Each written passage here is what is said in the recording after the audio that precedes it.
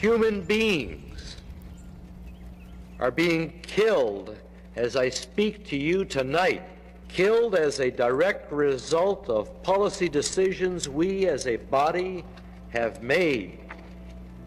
This approach of war on drugs has not succeeded. We've spent billions of dollars on it. And we fill up our prisons to the point where we're the embarrassment of the world. We're supposed to be a democracy.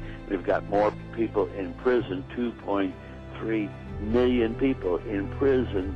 We spend more as a nation on defense than all the rest of the world put together. This whole nation should be a sanctuary for the world. I'm ashamed as an American to be building a fence on our southern border. That's not the America that I fought for. Our soldiers died in Vietnam in vain.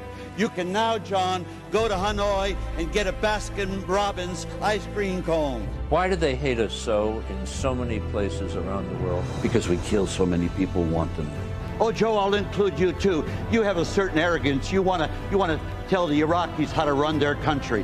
And we can get off of gasoline in five years, and we can get off of carbon in 10 years. All we got to do is want to do it. Just play get out. It's their country. They're asking us to leave, and we insist on staying there. The military industrial complex not only controls our government lock, stock, and barrel, but they control our culture.